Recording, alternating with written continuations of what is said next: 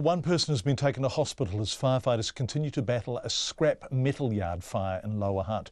There are concerns smoke emitting from the blaze could be toxic, and as Mariana Johnson reports, firefighters say it could burn for days. Plumes of dirty grey smoke were seen billowing down the Wellington coast this morning from the Macaulay Metals scrapyard in Seaview. There was confusion in the industrial area as workers tried to get through but were stopped at a cordon on the corner of Seaview Road and Parkside Street. Nigel Hanford was one of them. They've had a couple of fires, but nothing, nothing like this. We're coming over the Wife bridges at Waiwhetū, and you can see it from there. But um, she's looking pretty, pretty smoky.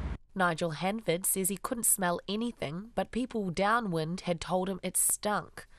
Placemaker's employee Brent Grindlay was also caught at the cordon. Because it's a recycle place, they burn stuff now and then. Like to get, I think it's to get the copper and wire out, and they've been burning a little bit all week, but that's the first I've seen them like that.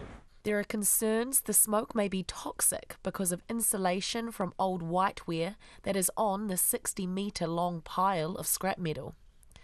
Firefighters believe it was a spark from a cutting machine that ignited the blaze.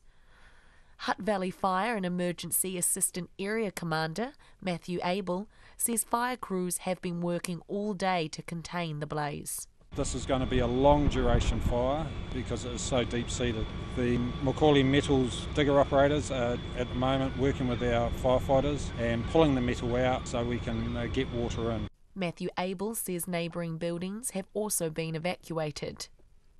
One employee of Macaulay Metals was sent to hospital suffering from smoke inhalation. Macaulay Metals finance manager Rachel Levis says the employee was immediately discharged and is at home resting. She says the fire was likely started by a lithium battery. Investigations are still underway, but we would be really surprised if the fire came from refrigeration units.